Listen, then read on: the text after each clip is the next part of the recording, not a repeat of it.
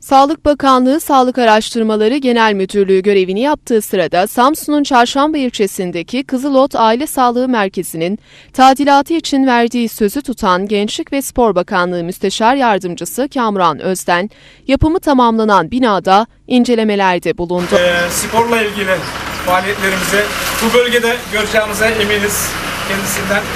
Ee, kendisinden bu bölgenin e, evladı olarak, bu bölgenin şey olarak bu bölgeye iz getirip yaratacağından eminiz. Özden'e inceleme sırasında İl Sağlık Müdürü Doktor Yusuf Köksal, Samsun 112 İl Ambulans Servisi Başhekimi Doktor Ömer Barış Çankaya, Çarşamba Gençlik ve Spor İlçe Müdürü İlkay Aydın eşlik etti.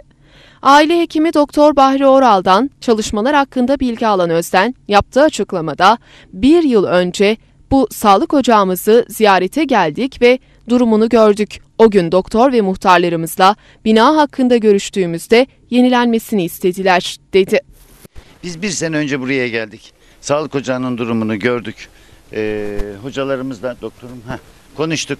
Ee, yenilenmesini istediler. Hakikaten yenilenmeye ihtiyacı vardı. Ee, sobayla ısınıyorlardı. Ee, boyası badanası. Ee, sağlık müdürümüze ve hak sağlığı müdürümüze Yusuf Bey'e ve Ertan Bey'e söyledik.